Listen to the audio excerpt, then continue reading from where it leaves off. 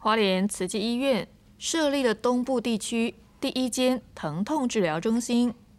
结合院内七个专业科别医生群，要帮患者更正确、快速地找出病源，并舒缓疼痛。扶着栏杆下楼梯，今年七十五岁的张先生常常痛到无法行走，严重时连晚上睡觉都是问题。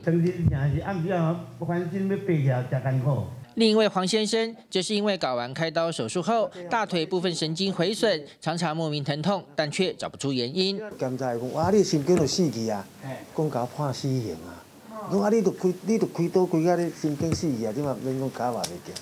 而为了帮助病患迅速找出病因并舒缓疼痛，花莲慈济医院特别结合院内骨科、神经科、麻醉部、复健部等七个科别医生群，成立了东部第一间疼痛治疗中心。毕竟透过各种专业领域的共同诊断，才能快速舒缓疼痛。不管是开脑、开胸、哈、开胸、开腹部，或是开什么啊，那